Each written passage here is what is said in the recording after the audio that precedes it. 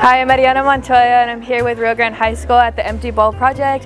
Here we made a bowl and local restaurants and businesses donate food where they would go into the bowls and be donated and that money would go to charity. Hi, my name is Magali Rechman and I'm the ceramics teacher at Rio Grande High School.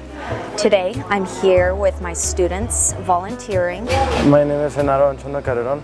I am also here with Rio Grande High School. I am currently volunteering with the kitchen. Right here I'm holding a bowl that one of my students donated. So the way it works is patrons will come on over here, they will grab a bowl of their choice, they'll walk down the line, get it filled with food that has been donated from restaurants all around Albuquerque. They'll take a seat and enjoy their meal knowing that they have donated to the storehouse. So it's a really incredible thing.